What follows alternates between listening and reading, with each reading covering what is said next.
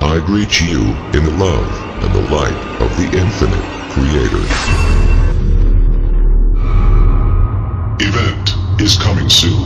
YouTube channel. Here's the latest intel.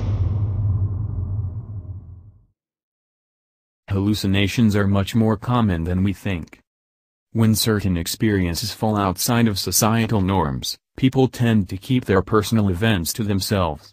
For instance, you probably don't hear people walking down the street talking about their hallucinations as candidly as they do, say, their dreams. But new research has found that the former is actually much more common among the general population than most people realize. A study examining over 7,400 people in the UK discovered that 4.3% of participants had reported having experienced visual or auditory hallucinations in the past year, including people without mental disorders. This proves the phenomenon isn't limited to people with psychosis. There is a general idea in psychiatry that hallucinations are a feature of psychosis, explained lead researcher Ian Kelleher from the Royal College of Surgeons in Ireland but when we looked at a whole range of mental health diseases we found that hallucinations are symptoms that occur in a wide range of mental health disorders such as depression or anxiety. Borderline personality disorder was used as an example of a psychotic disorder for this study, which, like many other mental issues, has a heavy stigma that sufferers see and hear things that aren't there. The results of this recent study challenge the stigma, however, dismantling the idea of a divide. The researchers reviewed data from the 2007 Adult Psychiatric Morbidity Survey, and found that a significant amount of participants had been diagnosed with a mental health condition. To determine if hallucinations were more common among people with a psychotic disorder as opposed to those without, the team looked at how many people with borderline personality disorder reported seeing or healing things that other people couldn't over the last year compared to participants with non-psychotic depression or anxiety.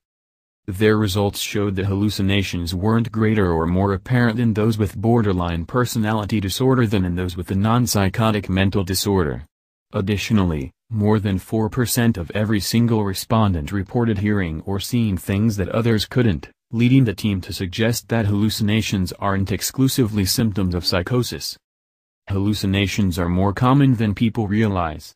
They can be frightening experiences, and few people openly talk about it. Kelleher explained.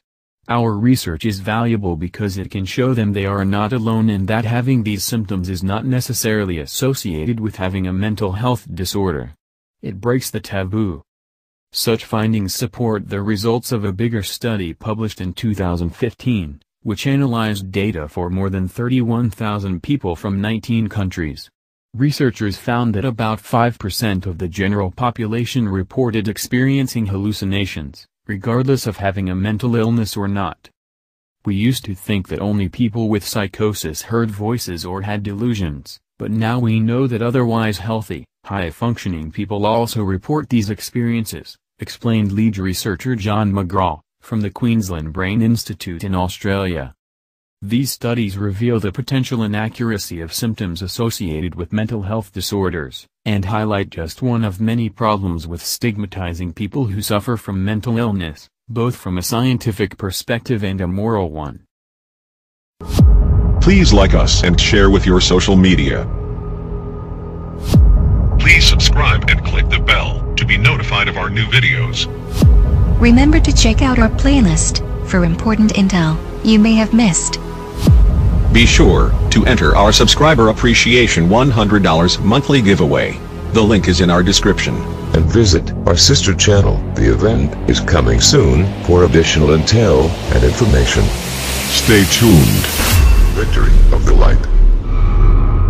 Event is coming soon. YouTube channel.